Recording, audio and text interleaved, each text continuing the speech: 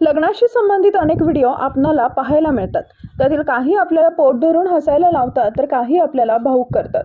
सध्या सोशल मीडियावर एका लग्नातील असाच एक व्हिडिओ व्हायरल होत आहे जो पाहून नेटकऱ्यांना हसू आवरणं कठीण होत आहे खरं तर लग्न म्हटलं की वराडी मंडळींसाठी जेवणाची खास सोय केली जाते. पण लग्नाच्या वेळी पाऊस पडला तर ग्रामीण भागातील लोकांचं खूप हाल होतं. सध्या असाच व्हिडिओ व्हायरल होत आहे ज्यामध्ये पावसामुळे जेवायला बसणाऱ्या पाहुण्यांची गैरसोय झाल्याचं दिसत आहे.